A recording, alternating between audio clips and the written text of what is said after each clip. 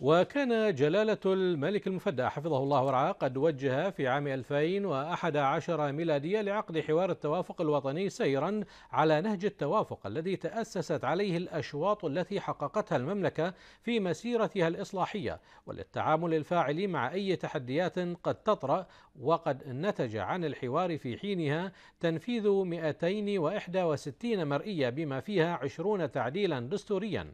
وفي عام 2013 أمر جلالته باستكمال حوار التوافق الوطني في المحور السياسي.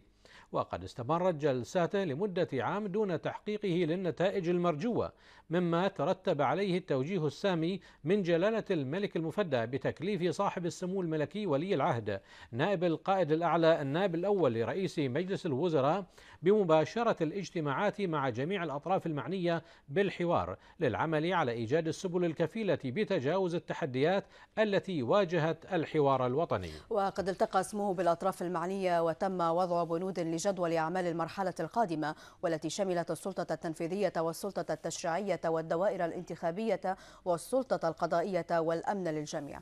ومن ثم كلف اسمه معالي وزير الديوان الملكي بعقد اجتماعات ثنائية مع جميع الأطراف لمناقشة تلك البنود.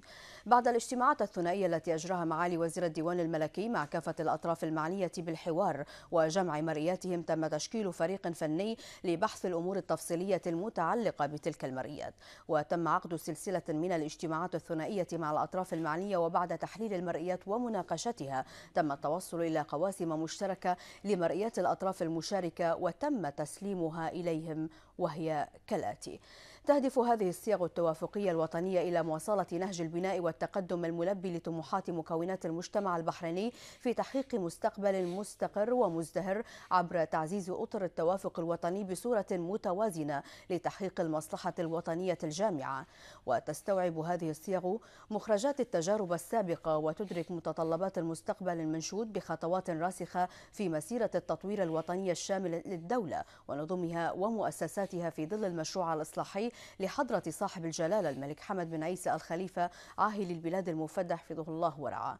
وبعد عقد الاجتماعات الثنائية مع جميع الأطراف السياسية لاستكمال حوار التوافق الوطني حول المحور السياسي واستلام المرئيات من قبل جميع الأطراف وتحليلها ومناقشتها تبين أن ما يمكن التوافق عليه من قبل جميع الأطراف لاستكمال هذا الحوار وإمكانية تطبيقه تطبيقه من خلال القنوات الدستورية هي أو هو كالآتي.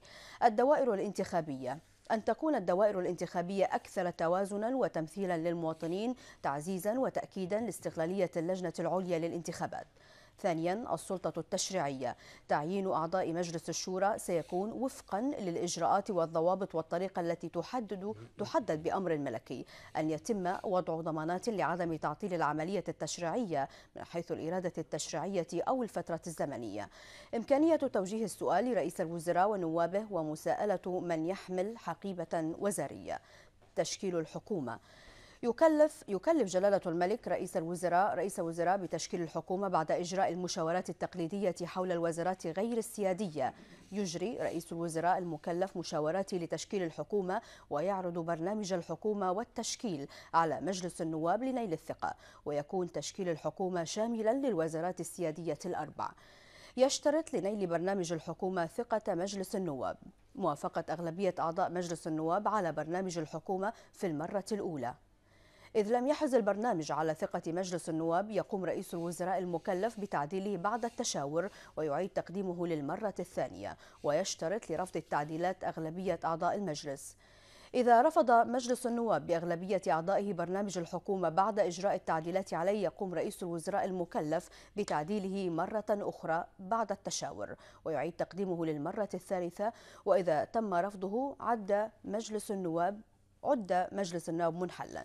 وتستمر الحكومة القائمة في تسيير أمور الدولة لحين انتخاب مجلس جديد وفقا لأحكام المادة 64 من الدستور. السلطة القضائية. الاستعانة بخبرات دولية لتطوير السلطة القضائية بما يواكب أفضل الممارسات العالمية. الاستمرار في تعزيز استقلالية القضاء في إطار الدستور والقوانين المعمول بها. الأمن للجميع. إن الأمن مسؤولية الجميع ويتعين على الكافة احترام القوانين السارية في المملكة ونبذ العنف والوقوف صفا واحدا ضد الإرهاب والتخريب. كما أن المؤسسة أن للمؤسسات العسكرية ضوابط صارمة لأعمال الشروط والواجب توافرها والتي حددها القانون في كل من في كل من يلتحق أو يستمر بالخدمة فيها والتي هي من أهمها ضرورة الامتناع عن العمل بالسياسة واحترام الانضباط العسكري والتقاليد والأعراف العسكرية للحفاظ على كرامة ومكانة شرف الخدمة العسكرية.